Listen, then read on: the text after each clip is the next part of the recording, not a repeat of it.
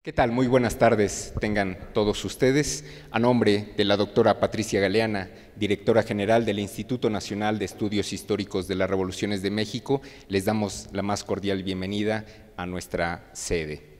Como todos ustedes tienen presente, este año es un año de conmemoraciones importantes, de conmemoraciones destacadas, por supuesto, a principios de año iniciamos con la conmemoración del centenario de la Constitución Política de los Estados Unidos Mexicanos, 100 años de una constitución vigente, con más de 700 reformas, pero finalmente con un texto original base.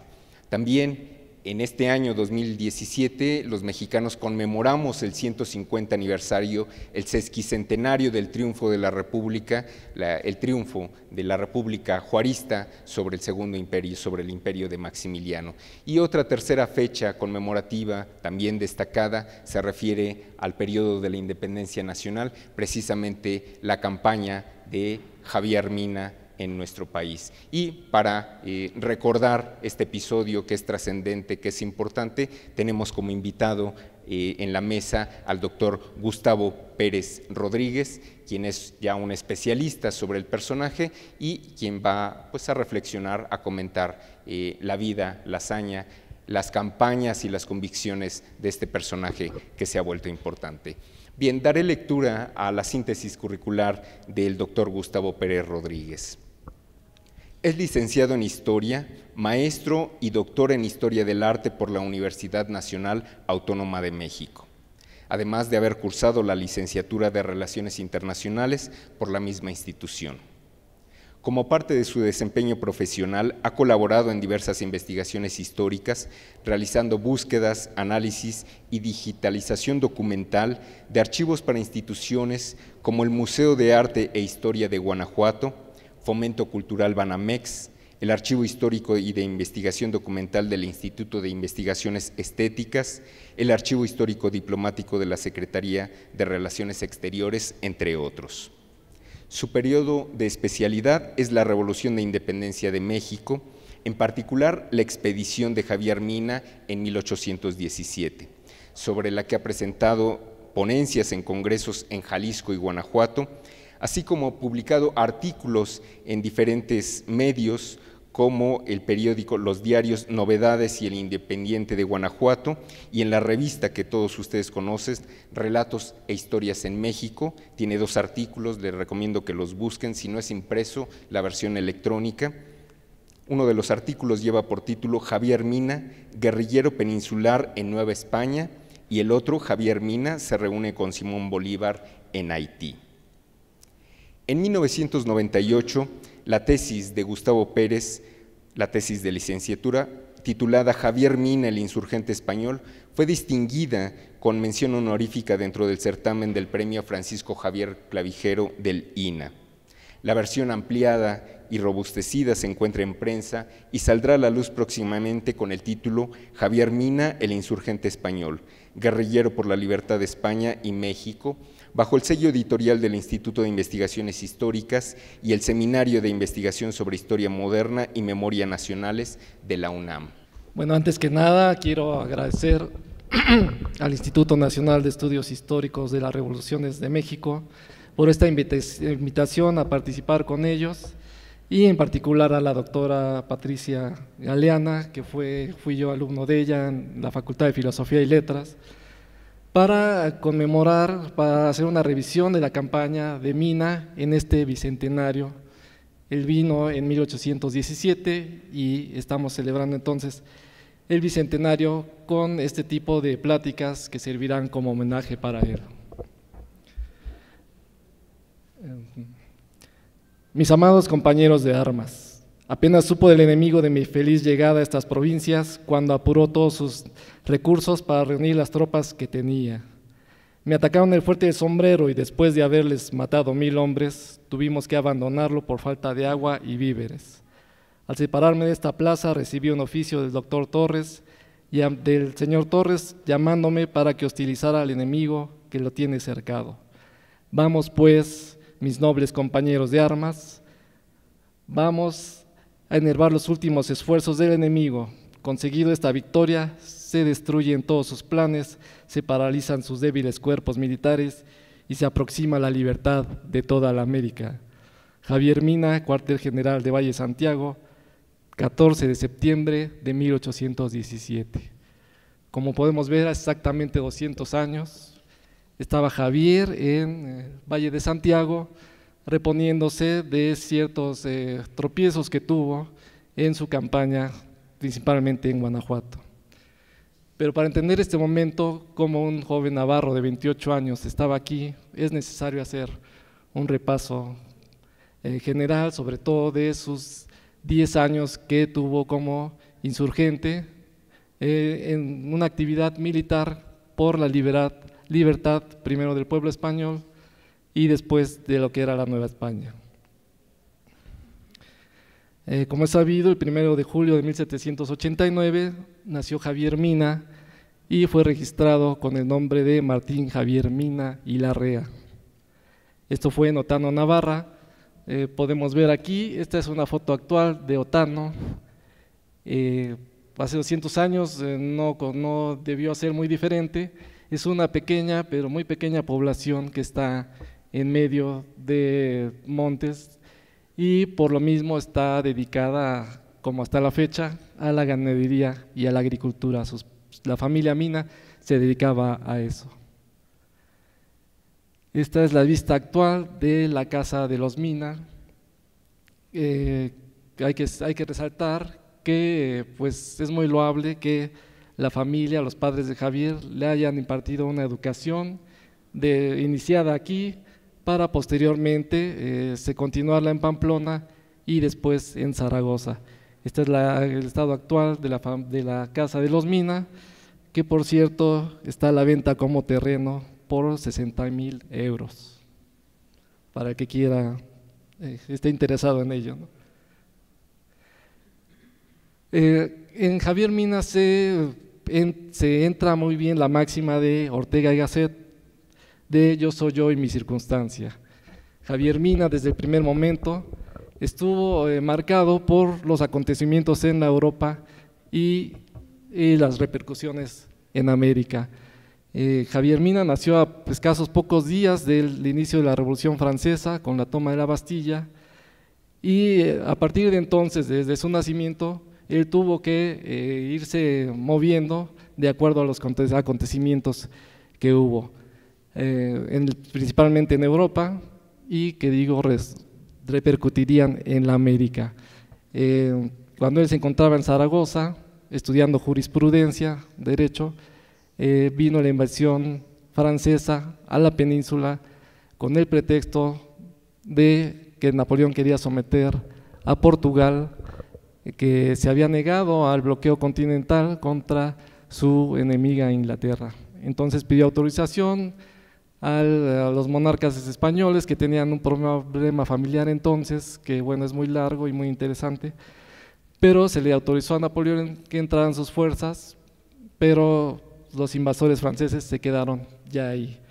Eh, vino entonces el levantamiento del pueblo español, que no de la monarquía, sino del, pueblo español en, 1800, en mayo de 1808, y uno de sus profesores de Javier, el general Juan Carlos de Areistaga, lo invitó a que se uniera al levantamiento. Javier entonces era un estudiante, de 18, 19 años, él aceptó y participó, bueno, se puede decir que participó en la, el sitio de, de Zaragoza, que aquí está una escena de una pintura actual de ese momento, de Agustina de Aragón, Zaragoza. Esto fue un poco posterior. Digo que supuestamente participó porque el ejército español derrotó en forma contundente el ejército francés derrotó en forma contundente al ejército español sin que siquiera Areizaga y Mina pudieran entrar en acción. Eh, fue una derrota eh, muy eh, precipitada, pero bueno, después vino un sitio, el sitio a Aragón, que es a, a Zaragoza, que es muy famoso en España. Pero Areizaga encomendó entonces a Mina que fuera a su natal Navarra, a su Autano, a todo alrededor, para que viera cuál era la situación que existía, porque se tenía la percepción de que en esa región no había cundido un levantamiento con las tropas francesas. Javier acepta, va a Navarra y encuentra que bien, sí, eh, había movimiento, pero era de pequeñas partidas que se dedicaban ya a la rapiña porque no tenían ninguna organización y sí estaban atacando a tropas francesas, pero también a las poblaciones navarras. Javier entonces, por iniciativa propia, em, pide autorización para iniciar una guerrilla en su natal Navarra, eh, autorización que le es dada, y inicia con 12 hombres, según cuenta él, atacando un convoy francés. Obtiene un éxito y de ahí viene una cadena de, éxitos contra los convoyes franceses para iniciar este fue la chispa que llenó de, al pueblo navarro para levantarse también contra las tropas francesas. Hay que recordar que Navarra está en frontera directa con Francia. Entonces esta guerrilla fue muy efectiva porque, eh, como sabemos, en los movimientos guerrilleros, eh, cuando no existe un poder vencer a un ejército superior, se hace pequeñas partidas, sobre todo del pueblo, que enfrenta a los pequeños convoyes franceses para eh, desintegrarse inmediatamente. Son acciones muy rápidas y que tienen mucha contundencia frente al enemigo francés. Entonces, estos guerrilleros trataban de cortar las comunicaciones, abastecimientos y, eh, de abastecimientos alimenticios y militares de armas y, pues no fue muy efectivo eh, la guerrilla de Javier porque estaba en la frontera con Francia. Esta es una escena de los desastres de la guerra de Francisco de Goya, de las clásicas. Aquí podemos ver la violencia de, este enfrentamiento, como todas las guerras, del pueblo o guerrilleros contra los soldados franceses que estaban bien uniformados y demás. Mm, bueno, la siguiente. Esta es una imagen de Javier ya como guerrillero, esta pintura se le tomó a él posteriormente, pero está aquí como el jefe guerrillero que era conocido como Mina el estudiante. Todos los líderes guerrilleros del pueblo les dio un apodo, un sobrenombre, estaba el empecinado, estaba el marquesito, a Javier Mina le pusieron Mina el estudiante, que era la característica que lo diferenciaba de los demás. Eh, bueno, aquí se sabe que el sí posó, esta es una estampa de una serie que se hizo de todos los jefes guerrilleros posteriormente. Pero bueno, así era Javier Mina. Estaba al frente de lo que él nombró a su guerrilla como el Corso Terrestre de Navarra, que se hizo muy famosa en la zona y que incluso se dice que existía el llamamiento de irse a Mina. Vámonos a Mina todos, vámonos con Javier Mina para luchar contra los invasores franceses. Sin embargo, eh, después de, varias victorias, de casi dos años de, encontrarse en la guerrilla, el, ejército francés ordenó que se siguiera personalmente a Javier para apresarlo porque pues era muy efectiva su guerrilla. Así sucedió en un momento dado que él iba a recoger con su guerrilla bombas incendiarias mandadas por los ingleses, fue sorprendido y tomado prisionero. Se le llevó entonces a esta prisión, es un castillo de Vincennes que se encuentra cerca de París, que eh, es de llamar la atención que a diferencia de otros guerrilleros que eran asesinados en el momento, a Javier se le perdonó la vida. No hay una explicación, había una orden de Napoleón de que en que cuanto se capturara se le diera muerte. Sin embargo, el comandante que lo apresó dio largas, eh, pidió nuevas instrucciones, en fin, y se le perdonó la vida y se le envió prisionero aquí.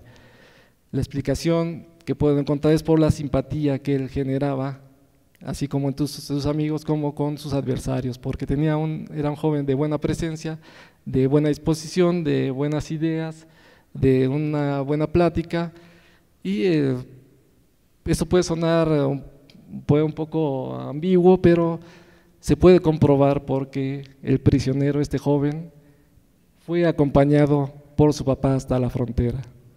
Esto no se le daba a ningún prisionero de guerra.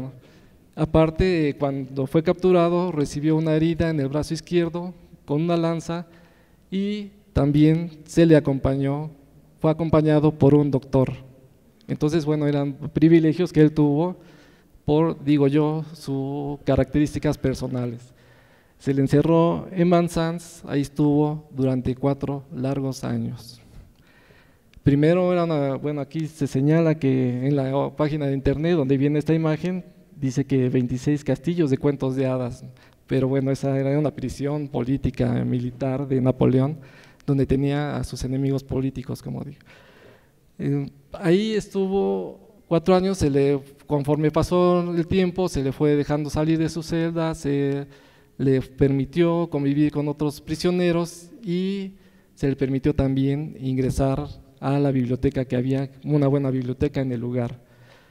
Ahí conoció a un general francés llamado Víctor Fourneau de la Laurier, que tenía 45 años. Él era, había sido un general de Napoleón, pero cuando este ya se volvió emperador, estuvo en contra, se levantó contra él y fue hecho prisionero en este lugar. De Laurier marcó la vida de Javier porque lo introdujo, aparte de las ideas militares, la estrategia militar, le inculcó la ideología liberal francesa. Esta ideología que hablaba de la libertad por sobre todas las cosas.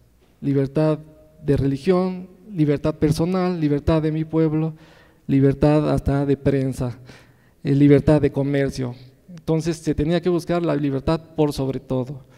Y también lo instruyó en la idea de un romanticismo que estaba ya eh, llegando, en este caso impregnando Europa, en el que se habla de que los sentimientos y las pasiones deben de estar por sobre la razón.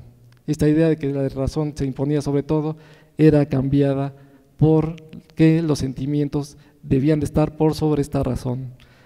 Eh, entonces, en la idea de Javier, este, escuchando estas dos cosas, impregnó en su ideología el que la libertad, bien valía la pena ofrecer la vida por la libertad donde quiera que ésta no la hubiera. Como digo, no era solo la libertad personal, sino la de quienes me rodean, la libertad de un pueblo. De Laurie eh, fue enviado, exiliado a Estados Unidos, escapó en el trayecto y volvió a levantarse contra Napoleón, pero esta vez sí fue asesinado. Sin embargo, la semilla del liberalismo ya estaba en Javier. Eh, cuando, como digo, estuvo marcada la vida de Javier por los acontecimientos, en 1814, con la caída de Napoleón, llegaron las tropas rusas a liberarlo y Javier pudo regresar a su natal Navarra. Ahí se encontró con su tío Francisco Espos, que es el que está aquí, que era mayor ocho o nueve años que él, pero que se había hecho cargo de la guerrilla a la captura de Javier. Es importante esto porque este personaje, este tío, se llamaba Francisco Espos y Lundain. Cuando es preso Javier, la propia guerrilla, el corso terrestre, lo nombra a él por ser cercano a, Javier y al tomar este liderazgo quita su apellido materno para poner el apellido paterno de su sobrino. Desde entonces es conocido como Francisco Espos y Mina. Esto provocó desde ese momento una serie de equivocaciones porque han llevado a que hasta la actualidad se los confundan los dos. Primero Espos se puso en mina por el prestigio que tenía en ese momento, pero para 1814 Espos ya tenía un prestigio superior a su sobrino, incluso ya no se acordaba mucho de él y existía esa confusión que ha llegado hasta este momento de llamar a Javier Mina como Francisco Espos y Mina, algo que desde 1832, Martín Luis Guzmán viene, vino señalando en su libro, una biografía que, novelada que hizo, sin embargo no se ha podido cambiar y seguimos en el Congreso de la Unión con un eh, nombre en letras doradas de, señalando a Francisco Javier Mina, que es un personaje que no existe. Este es Javier Mina con X, Un día platicando con la doctora Lupita Jiménez Codinash, hablábamos un poco de, bueno, lo que es la tragicomedia, y ella hablaba de que debía existir los derechos humanos, aún en los personajes históricos, para que no se le difamara cuando ellos ya no se pueden defender. En este caso, podría aplicarse la idea, el derecho que tiene uno a la identidad, a su identificación, a un nombre cierto. Y el nombre de Javier, como él se, se firmaba, él se reconocía, era Javier Mina, no como Francisco. Entonces, bueno, es necesario plantear esto precisamente en este bicentenario para ver si se puede cambiar este error. Bueno, eh, eh, en ese 1814 el rey Fernando VII regresa también a Madrid después de estar cómodamente, se dice, en, Francia, y promete que va a jurar la constitución de Cádiz, que gobernó a su ausencia. Eh, pero lo primero que hace en llegar a Madrid es perseguir a todos los que la defendían y a implantar un gobierno absolutista. Nadie podía estar por sobre él. No obstante, Javier Mina, haber sido liberal, eh, ya de ideas liberales, es invitado por el rey junto con su tío a visitar Madrid y ahí eh, ellos acceden a ir esperando que se les diera pues algún premio después de su sacrificio de cuatro años en pro de la libertad del pueblo y de la defensa del rey. Sin embargo, Javier eh, y Espos fueron maltratados por la corte y fueron maltratados por el propio rey. El propio Javier señalará después que recibió en Madrid el abrazo del déspota. A Espos se le negó la jefatura militar de Navarra, que era lo que él buscaba, y a Javier se le negó el reconocimiento del grado, del grado de coronel que ya las cortes le habían dado. Este enojo y ya como menciono, las ideas liberales crearon en los Mina una, una intento de conspirar contra el absolutismo del rey, una especie de desquite por el maltrato que recibieron, pero también porque no iban a tolerar un gobierno déspota en esta España. Ellos buscaban una monarquía constitucional en la península. Eh, ellos eh, estaban, como digo, en Madrid, saben la, corte que son, pueden ser enemigos, eh, fuertes enemigos y que están en la propia capital, por lo que son enviados eh, de regreso a Navarra, diciéndoles que su ejército, su ejército se está disolviendo y que es necesario su presencia allá. pero pues ellos ya habían hecho ciertas relaciones en Madrid y habían planteado ya la idea de un levantamiento liberal en contra del monarca, no del pueblo español, pero sí del monarca absolutista. Para ello decidieron eh, tomar la ciudad de Pamplona, en el que sería el primer pronunciamiento liberal contra el rey. Eh, Javier estaba dentro de la muralla y eh, con unos oficiales esperando la llegada de su tío Espos con el ejército y para abrir las puertas, para ayudarlos a asaltar las murallas. Sin embargo, esto fue el 25 de septiembre de 1814, del mismo 14, y eh, pues Espos nunca llegó. Javier y demás vieron el amanecer y dieron por fracasado el pronunciamiento, por lo que tuvieron que salir huyendo. Espos sí había intentado llegar, sin embargo, su ejército, al que no había informado nada, en cuando se enteraron que iban a atacar esta plaza para ir en contra del rey, su ejército se negó a hacerlo. Incluso se dice que dispararon contra Espos, matando a su caballo, por lo que tuvieron estos oficiales que salir huyendo. Y son las ideas conservadoras contra las liberales que han seguido hasta la actualidad, no solo en España, también en el México actual. En este momento, Javier desaparece un poco de la historia para encontrárnoslo en junio de 1815 ya en Londres, exiliado en Londres. Esto es lo que ha investigado la doctora Guadalupe Jiménez Codinash. Está registrada la visita de Javier en la casa de, de Lord Castler, que era miembro del partido Tory y era un particular que venían ya eh, organizaba estas reuniones para organizar una, una expedición a la Nueva España, entre otras cosas. A esta casa asistían también eh, Lord Castle, ah, decía Lord Castle, también estaba el barón de Holland, asistían también eh, militares como Winfield Scott, ese Scott que 30 años después llegaría, tomaría la Ciudad de México, estaba muy joven ahí, todo por, para eh, organizar estas campañas, una campaña hacia la América, hacia la Nueva España. Y por supuesto estaba el doctor Servando Teresa de Mier. Eh, como representando a los patriotas americanos, también estaban ahí los primos Faguaga, una familia muy poderosa de la Nueva España. Se encontraba también ahí el joven Lucas Alamán, que coincidió con Javier en estos momentos y que en su historia de México le daría un trato diferente a Javier comparado con el resto de los insurgentes. Pues bueno, estaban reunidos todos ahí, incluso gente de logias masónicas, como el propio Mier, que pertenecía a la número 7 de los Caballeros Racionales, todos ellos en, platicando en reuniones para una expedición hacia la Nueva España y eh, Javier estuvo dispuesto a escuchar y terminó convencido. Bueno, todos sabemos de la, forma de entusiasmar de, de Servando Teresa de Mier. Suena lógico que él fue el principal eh, instigador, el que lo llamó, el que sumarse a esta expedición. Y eh, Javier eh, vino a, conjugar estas dos ideas. Él, para entonces, este momento de 1815, ya había, existido otra intentona contra el monarca español del marquesito Riego, que había fracasado también.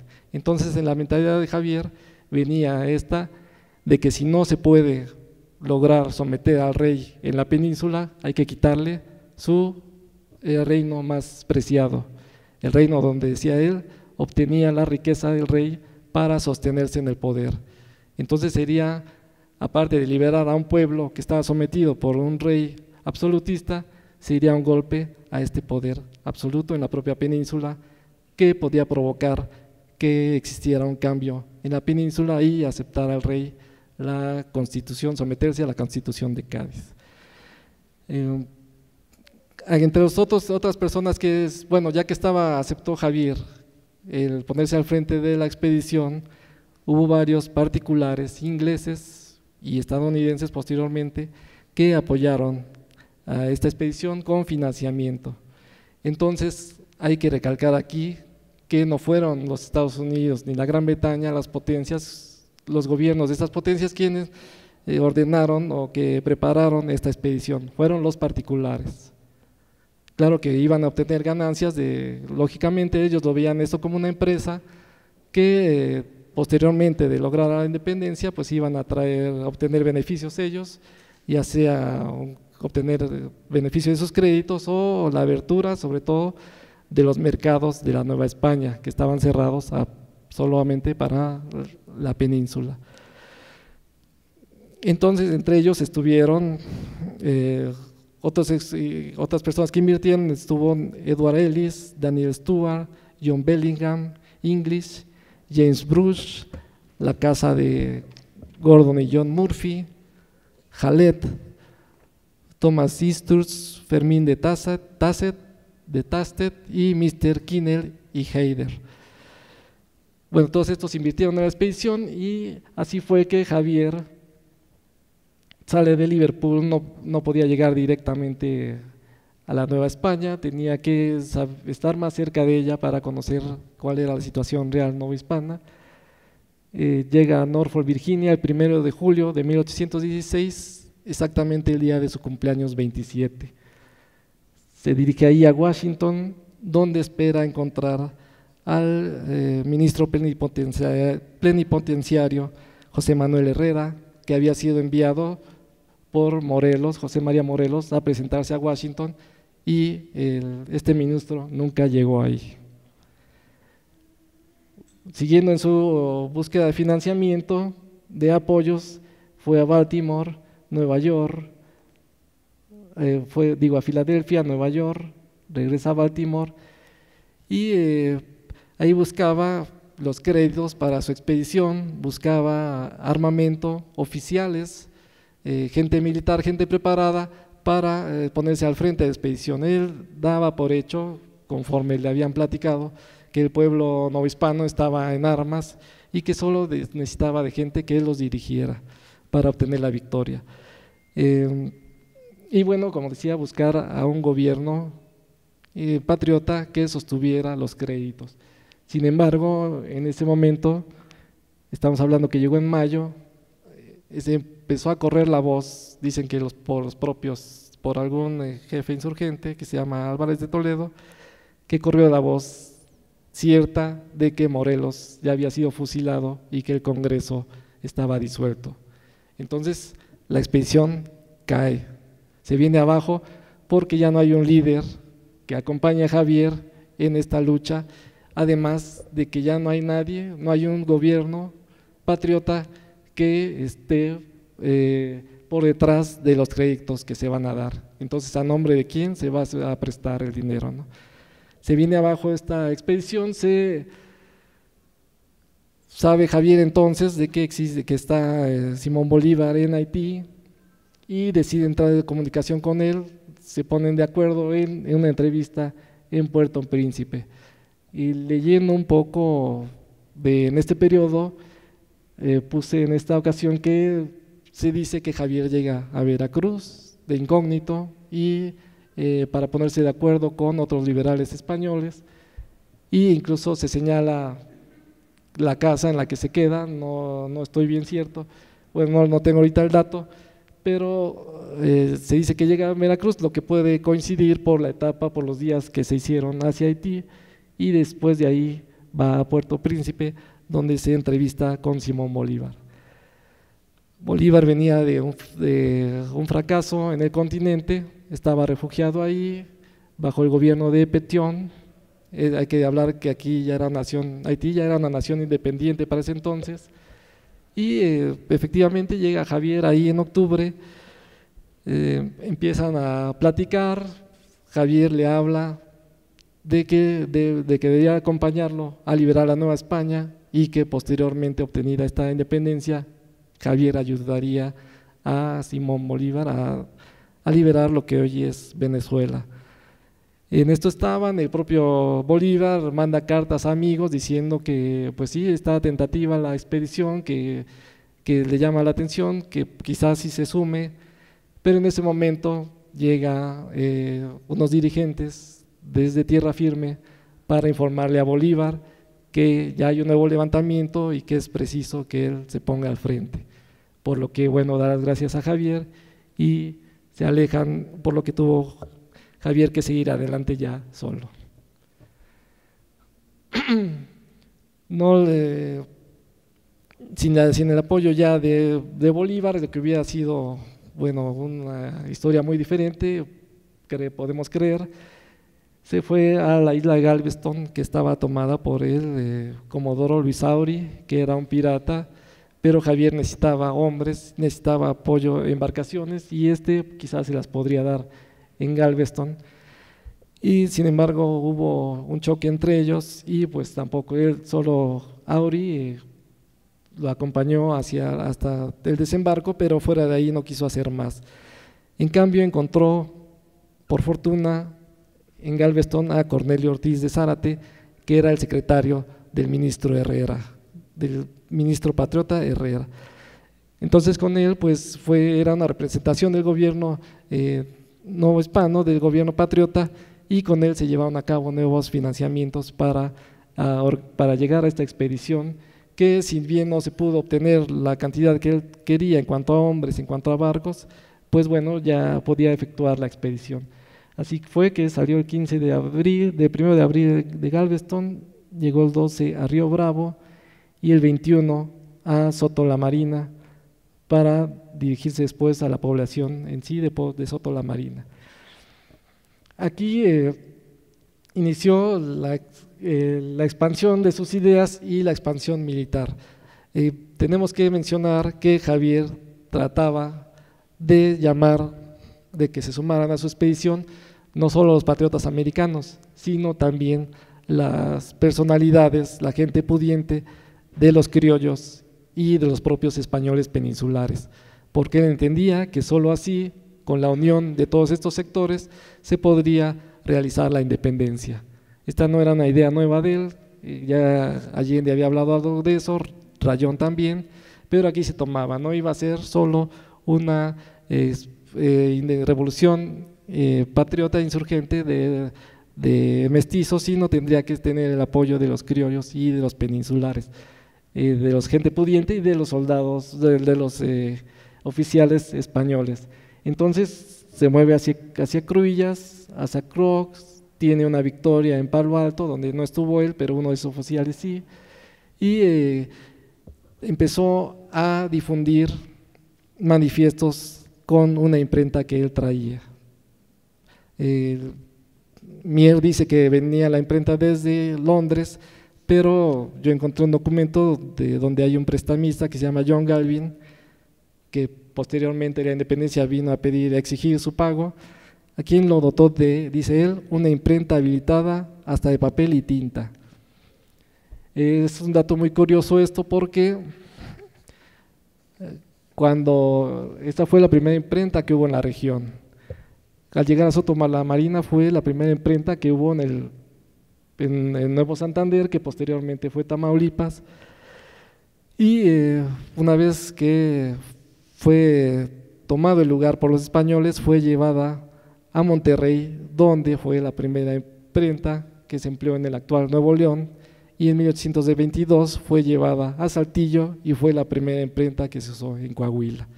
Este es un dato interesante eh, y, actualmente la imprenta se encuentra en el Museo del Obispado de Monterrey. Bueno, eh, estábamos hablando que ya venía una idea de por qué, el porqué de su lucha impresa. Entonces, como se puede deducir, pues iba a la gente pudiente, a la gente preparada, gente con instrucción, estas ideas y ya no lo hacía solo de forma personal, sino lo hacía difundiendo papeles. Eh, en el mismo sitio de Sotola Marina, el propio Mier hacía reuniones fuera de, en el atrio del lugar, llamando a la gente a la insurrección y, y efectivamente algunos eh, oficiales españoles como el coronel Rubio se sumaron a esta expedición. Eh, sin embargo, Javier era un hombre de acción, de movimiento. Entonces, deja algunos hombres, iniciaron todos juntos un fuerte en este lugar y eh, él necesita moverse, necesita ponerse, llegar a juntarse con los patriotas americanos. Así que el 26 de mayo se interna Javier hacia la Nueva España, al interior de la Nueva España, va a Bejarano, Orcasitas, a la Hacienda del Cojo y en Valle de Maíz tiene su primer enfrentamiento con un ejército en campo abierto eh, de 150 enemigos.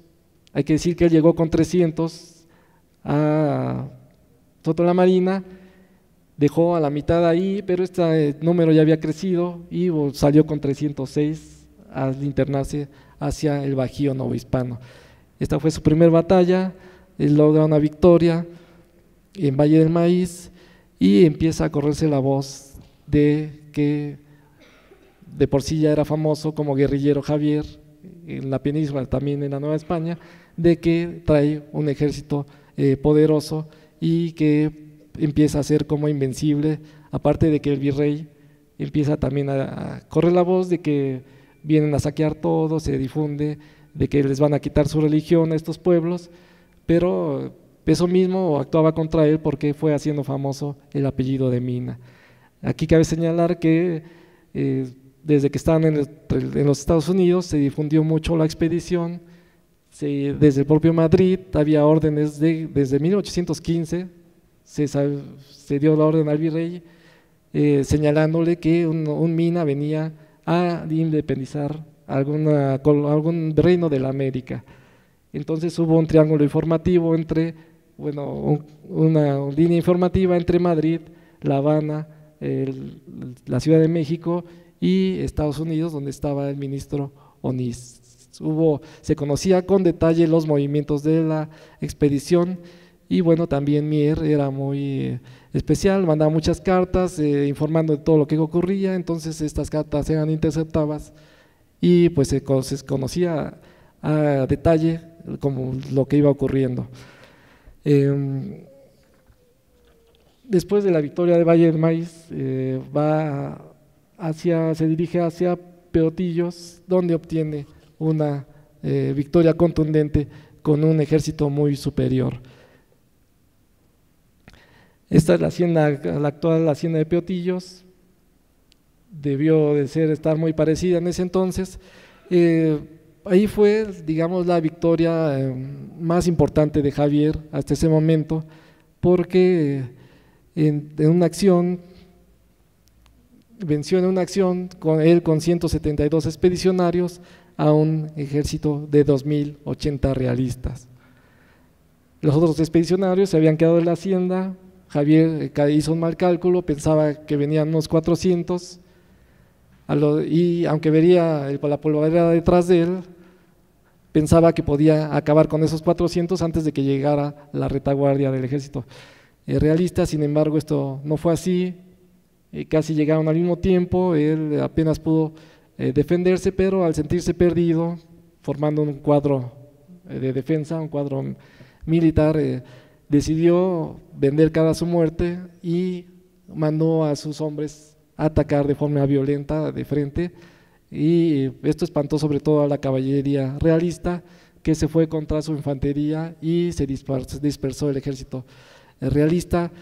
Como digo, era de 2.080 hombres que se enfrentaron a 172 hombres de mina, que hay que decir que eran militares eh, de profesión, eran muy certeros en los tiros y, digo que pues, eh, existía este terror ya hacia el apellido de Mina y a propósito gritaban Mina, Mina y eh, empezaban a, eh, entrar en pánico las fuerzas realistas y a disolverse. Em, aquí es hay un dato importante porque a pesar de que, fueron derrotados, los realistas eh, mandaban al virrey Juan Ruiz de Apodaca, en ese entonces ya, le, hablaban, le mandaban partes señalando de que bueno, no había sido una pérdida, sino que habían derrotado a Mina. ¿no? Incluso se, el parte de, de esta batalla se hizo imprimir en la Gaceta de México señalando como una victoria contra el traidor Mina. ¿no? Pero el virrey pues, estaba bien enterado de la situación y contestó a este Armiñán, que fue el coronel que se enfrentó a este lugar, le contestó en una carta de forma enérgica diciéndole que era un escándalo vergonzoso, decía el virrey, que un estudiante aventurero, sin conocimientos militares, rodeado de pícaros, sin crédito y sin dinero y sin recursos, se esté paseando por las provincias de este reino haciendo la farsa del judío errante. Bueno, esta fue la victoria que tuvo Javier, sin embargo, en ese mismo día vení, estaba cayendo en manos realistas el fuerte de Soto la Marina. Se habían quedado ahí 300 eh, expedicionarios, fue rodeado por tropas realistas y el, que sufrieron bueno, un cerco y después de tres días de sitio, de varios ataques que mandaron eh, los realistas eh, y 11 horas de estar bajo cañoneo continuo, decidieron eh, entrar en pláticas con el jefe realista para planear una capitulación.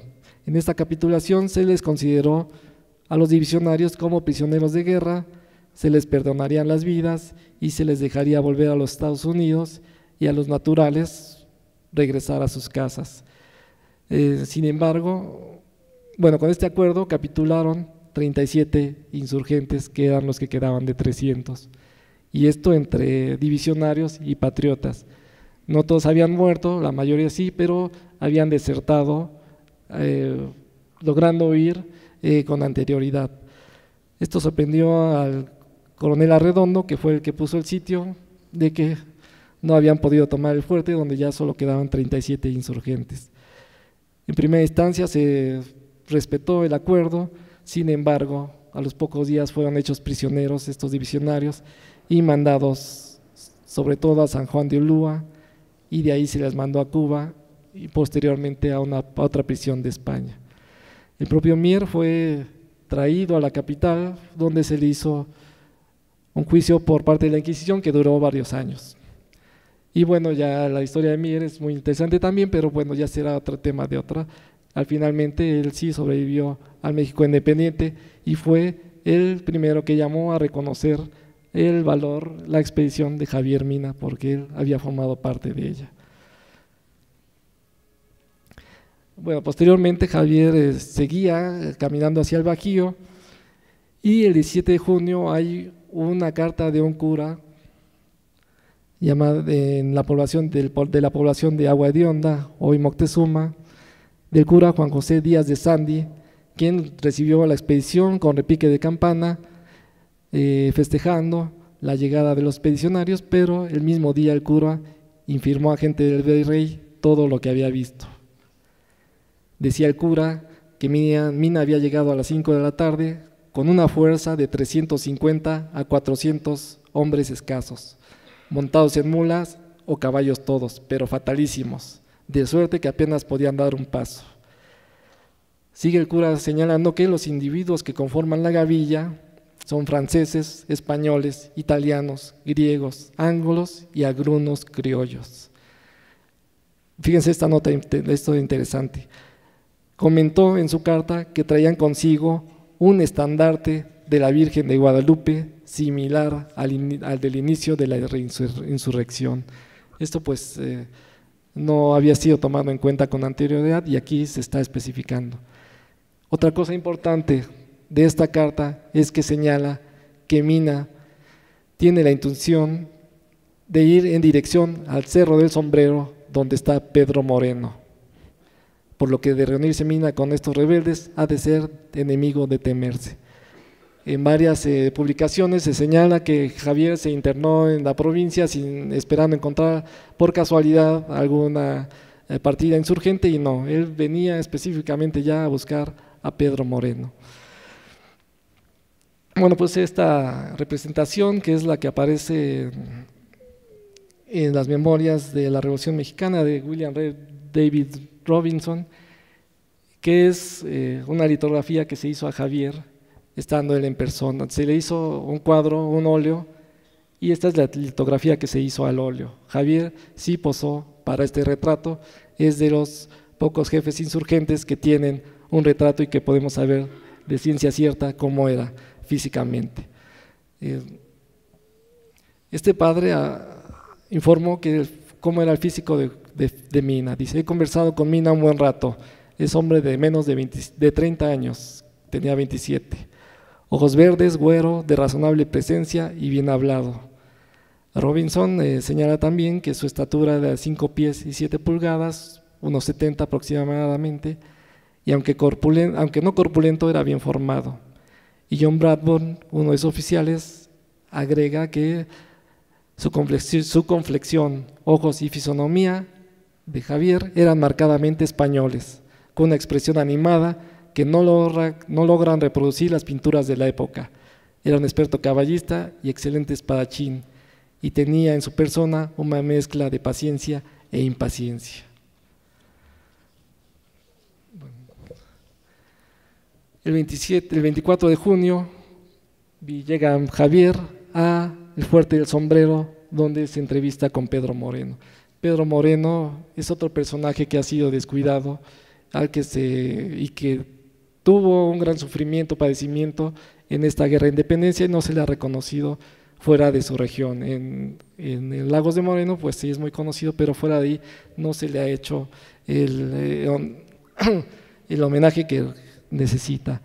El eh, Moreno había nacido en la hacienda de la Daga de Santa María de los Lagos, y cuando encontró a Mina contaba con 42 años. Él había sido un agente pudiente, era dueño de ranchos, de haciendas. Cuando llegó Hidalgo a Guadalajara, él eh, escuchó un poco del movimiento insurgente, se le quedó, no participó en él, se le quedó en su mente y con, con posterioridad empezó a asistir a reuniones conspiradoras en Valladolid, que es hoy Morelia iba de Lagos de Moreno a Valladolid y regresaba. Sin embargo, en, 1814 eh, fue descubierto y eh, cuando iban a prisionarlo decidió irse a la Sierra de Comanja con su familia, con sus eh, empleados y con eh, gente simpatizante para establecerse en el Cerro del Sombrero y crear ahí una fortaleza donde se encontraba cuando Javier llegó.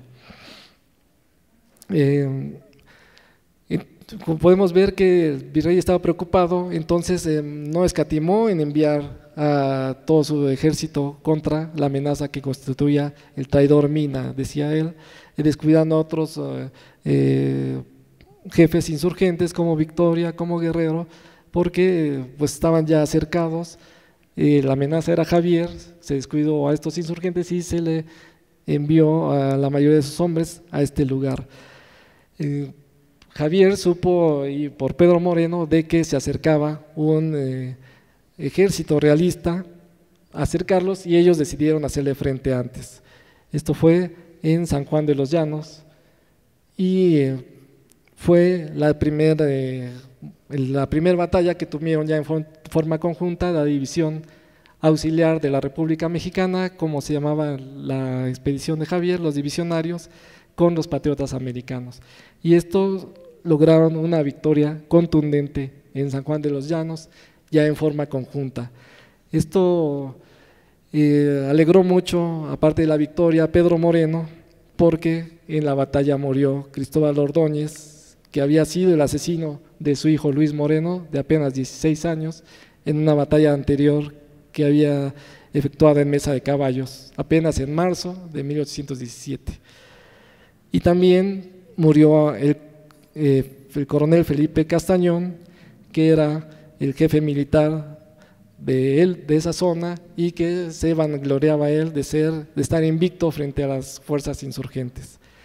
Quiero señalar que en esta batalla murió el Felipe Castañón, señalado Felipe Castañón, que fue en la única batalla de toda la guerra de independencia donde un comandante realista de la zona murió en batalla. Esta fue la última gran victoria a capo abierto de todo el movimiento popular insurgente. Bueno, este, este es la publicación que se hizo del parte de la batalla por parte del gobierno provisional mexicano que tenía una imprenta en el fuerte de Jaujilla. Desde ahí se publicaba. Mm, tenemos que mencionar que como toda guerra necesita financiamiento y Javier no lo había traído. Entonces eh, le dijeron que el marqués del Jaral tenía mucha riqueza en su hacienda y entonces ellos vieron una oportunidad de hacerse de, de, este, de estas riquezas para sostenerse. Como toda revolución, necesita apoyo financiero y ellos fueron, se dirigieron entonces a la hacienda de Jarales, así está actualmente, y eh, llegaron ahí el 8 de julio, como tenía un territorio muy extenso, fue informado el marqués de que se acercaban los insurgentes, por lo que huyó y dejó solo la servidumbre y, que fueron quienes abrieron la puerta a, los, a esa partida insurgente supieron por un criado de ahí que la riqueza se encontraba en una pieza a un lado de la cocina. Se cerraron las puertas, se escarbó, estando Javier presente, se llevó la contabilidad y efectivamente se encontraba, encontraron ahí 140 mil pesos en plata y oro, que era una suma muy importante para ese entonces, pero como digo, todo esto se contabilizó y se tiene la, la cantidad exacta de la que se posesionaron. Además, eh, para llevar todo esto se llevaban bestias, eh, productos de almacén, ropa, maíz y 112 caballos que tenía en forma particular el, marqués. Bueno, esta era una invasión a la privacidad, a la propiedad privada, pero era requerida para la revolución, era en nombre de la revolución. Mm, misteriosamente, en esa noche, en el trayecto, se fueron perdiendo algunas mulas con los sacos de dinero y se perdieron, y bueno, algunos personajes también, y cuando se llegó al fuerte del sombrero, se dieron cuenta que se habían perdido 33 mil pesos. Así es la guerra y así es la situación de, lo que es. Eh, en ese momento, al regresar al sombrero, supieron que se encontraba el gobierno eh, patriota esperándolos, representado por sus autoridades que eran José de San Martín, Antonio Cumplido y Antonio Vallejo. Ahí se le dio la bienvenida a Javier, los estaban esperando en el Fuerte del Sombrero, se, eh, después se encerraron para obtener pláticas y ahí se reconocieron los adeudos que había tenido Javier en ese entonces. Esos adeudos serían posteriormente eh, reclamados por eh, personas extranjeras que pedían la devolución de su dinero con ganancia. Bueno, este gobierno patriota reconoció la deuda y se le reconoció el grado de general a Javier, porque ella lo venía ah, o lo venía manifestando, pero no había una autoridad que se lo diera. Desde este momento tenía ya oficialmente el grado de general. Y además se le otorgó el mando superior insurgente de las provincias de Michoacán, Guadalajara, Guanajuato, Zacatecas, Potosí, México y Tecpan. Desde ese momento Javier Mina era el principal caudillo después de Hidalgo, después de Morelos en este momento en que se encontraba la insurgencia en plena decadencia. Esto molestó a José Antonio Torres, que era el jefe de la región, quien a regañadientes aceptó ponerse bajo las órdenes de Javier, pero en palabras, en los hechos, fue su actitud muy diferente. Este era el momento mayor de Javier, había logrado la expedición, había logrado internarse en el reino, había obtenido victorias conjuntas con los patriotas y aparte ya era el jefe del movimiento popular insurgente iniciado por Hidalgo y seguido por Morelos. Pero como platicamos, siempre que llega el clímax de algo, viene la decadencia. Eh, Javier Mina supo que la, cercana Villa de León eh, estaba descuidada porque se había ido el comandante del lugar, Pedro Celestino Negrete, la había abandonado dejando una pequeña, eh, pequeña guardia, pero eh, decidió entonces él ir a tomar esa plaza que era un centro de comercio como lo es actualmente. Sin embargo, la plaza estaba bien cuidada. Javier llegó con sus divisionarios, eh, su táctica militar era la de acercarse secretamente lo más que pudiera hacia hasta la plaza principal y una vez tomada esta, pues expandir su movimiento ya sometiendo a sus enemigos. Sin embargo, el lugar estaba muy bien defendido. uno de sus coroneles, el español Gabriel Márquez, eh, no tuvo la autoridad suficiente con sus hombres y estos penetraron directamente a la plaza cuando todavía no, se, el resto del grupo todavía no se estaba ahí, quedando encerrados sus hombres que eran divisionarios en el centro de la Plaza de León. Eh, Javier le llamó la, atención de por qué este movimiento y él, eh, queriendo salvar su honor, decidió atacar con pocos hombres por eh, una, no estoy cierto de cuál calle, pero de entrada a la plaza, donde ya lo esperaba un cañón realista, dándole muerte a él y a todos sus acompañantes. Javier no pudo sostenerse, y después de unas horas dio, ordenó la retirada. Ahí perdió Mina 108 hombres entre muertos y prisioneros, de los cuales 42 eran de su división. Cada vez iba disminuyendo aquellos 300 hombres. Vino entonces eh, un sitio al fuerte del sombrero, se tenía que acabar con Mina, el virrey mandó al personalmente al mariscal de campo Pascual de Liñán, que tenía 42 años, a que se abocara únicamente a acabar con la eh, Mina y su gavilla, decían ellos. Para esto le dio toda la ayuda económica, juntó cuatro mil hombres para él y estos cercaron el fuerte del sombrero. Esta es una vista superior que hicieron los propios realistas para ir ordenando el ataque.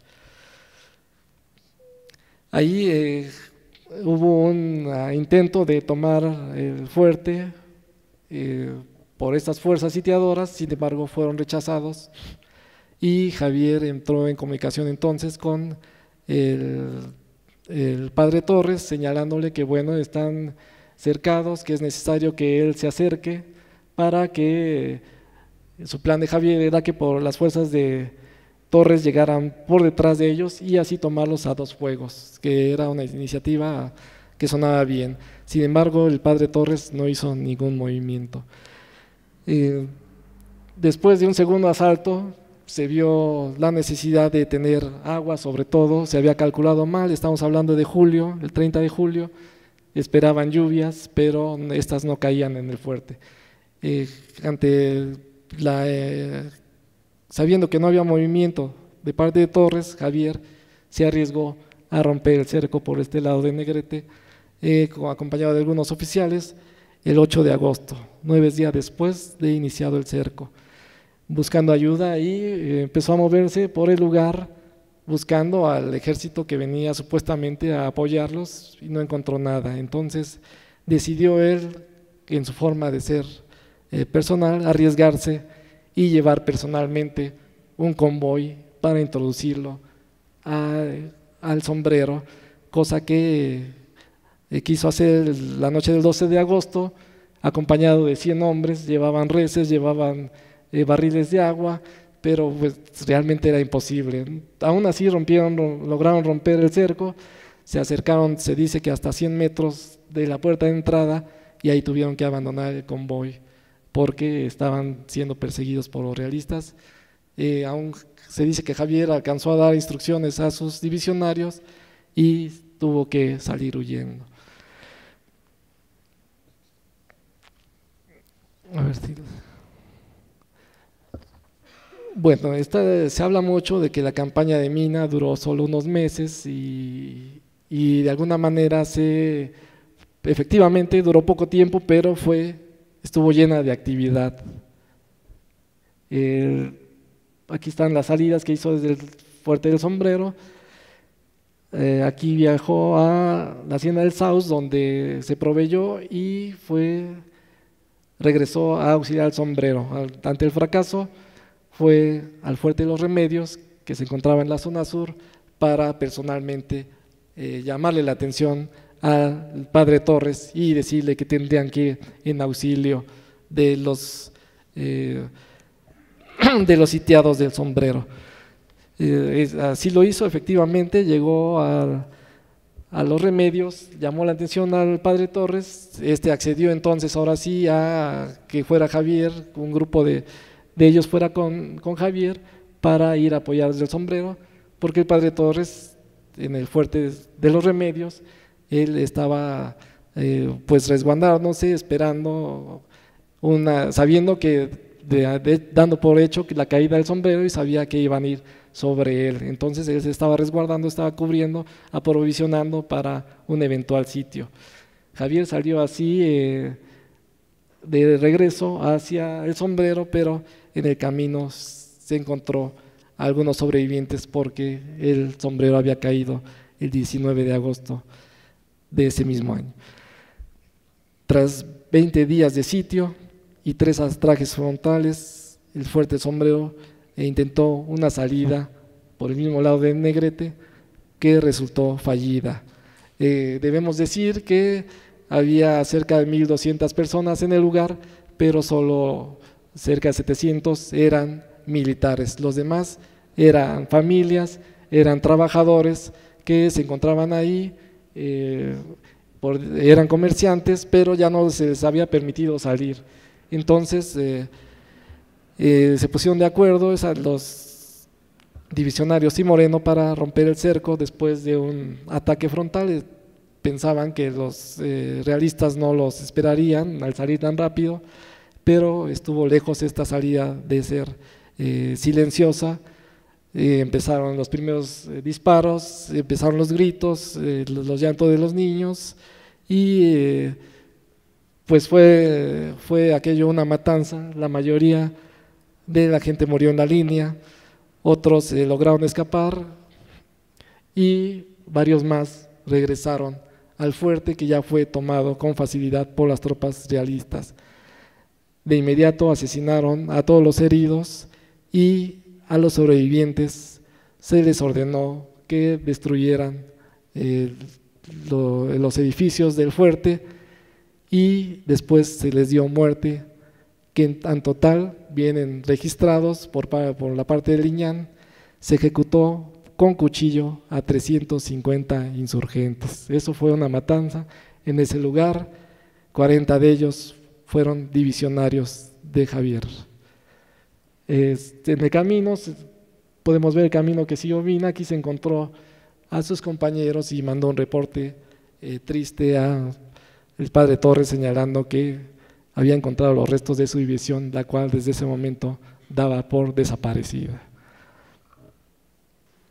Eh, podemos ver eh, el itinerario de Mina, ya acudió al rancho El Venadito por primera vez, después tuvo una victoria en la hacienda del Bizcocho, otra victoria en San Luis de la Paz, tuvo un fracaso en tomar San Miguel el Grande, eh, fue a Valle de Santiago, donde escribió este 14 de septiembre aquella misiva que les leí primero, después fue a la hacienda de la Zanja, donde tuvo otro fracaso, entró a la hacienda de la olla, tuvo otro fracaso en la hacienda de la caja y después se dirigió al fuerte de Jaujilla para entrar en tratos con el gobierno eh, patriota.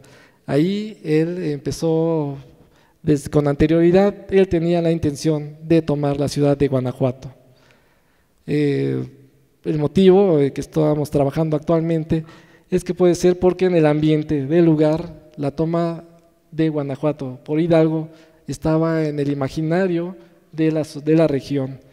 Entonces eh, Mina quería, estaba obstinado en tomarla, aparte de que pues era la capital de, esa zona. Y eh, él trataba de convencer a, los, eh, a las autoridades de Jaujilla que lo dejaran ir, que le dieran nombres y autoridad para ir a atacar Guanajuato. los convenció, Javier era un hombre formal, quería demostrar que los insurgentes podían tomar esta capital sin la forma sanguinaria como se había tomado anteriormente. Sería estrictamente una toma militar. Se quería así revertir la idea del sanguinario que había sido la toma anterior de Hidalgo. Eh, fue efectivamente, se le dieron los hombres, los convenció. La Junta le decían que se retirara más al sur con sus hombres para eh, instruir a las fuerzas, pero al final los convenció de, que, de un ataque a Guanajuato. Y en este lugar, eh, en Pueblo Nuevo, encontró a Moreno, que eh, había logrado escapar del sombrero, herido, pero se sumó a partir de este momento a Javier y formó parte de la batalla que hubo en Guanajuato. Así, el 25 de octubre, en la madrugada, Javier, como siempre, intenta entrar a la plaza principal de Guanajuato. Eh, lo estaba logrando, sin embargo, hubo, se dicen que tiros eh, por en otro grupo que venía eh, por la calle Depósitos, que está más o menos por acá. Y, y, en el templo de San Diego, el templo de San Diego está ahora a un lado del Teatro Juárez, para los que conocen, conocemos este lugar, y eh, hubo ahí enfrentamientos que provocaron la estampida de los insurgentes hacia donde estaba el grueso de la batalla, que era en este lugar donde estaba Javier. Queremos, quiero, hay que decir que Javier llegó ahí con 1.400 insurgentes, era una cantidad importante, era muy posible que tomaran la ciudad, sin embargo este ejército ya eh, no era profesional, era un ejército ya que venía de varias derrotas y a las primeras eh, enfrentamientos eh, se, daban a la, a la huida. Javier y sus oficiales trataron aún de someterlos, empezó a, correr, eh, imaginemos toda esta gente en estas callejuelas y con los disparos, gritos, y el propio Javier no encontraba a sus guías, por lo que tuvo que irse abriendo camino ante esta nueva derrota huyó finalmente, salió finalmente por el lado norte, eh, por la hacienda de la Valenciana, donde un grupo insurgente le prendió llamas a la mina.